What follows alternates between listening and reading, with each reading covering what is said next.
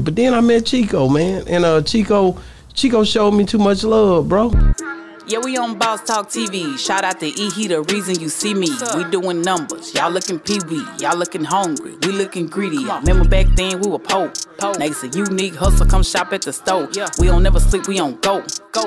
10 11 interviews all in a row. Ah, You know what I'm Chico, saying? Like Chi- this nigga showed me love, put- talk crazy about me while I was in the audience. Though I don't play that. I don't play that with them niggas. So you know what I'm saying? Yeah, oh, that's what he was trying to do. No, He yeah. was Get on the. Oh, he just talking about me talking nice about my wife. Oh, okay. Giving me the blues while I'm. I ain't got no mic in there, so ask questions. This nigga asks messy ass questions and shit. This nigga been in my show studying so he can ask me shit at the show. So, the nigga that came to fuck your mama,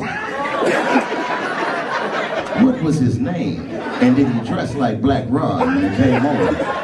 you know I can't win that. You know what I'm You're saying? not gonna win. You're not gonna win. But I had a damn good time at that show, man. He invited us back, showed us really the red carpet treatment.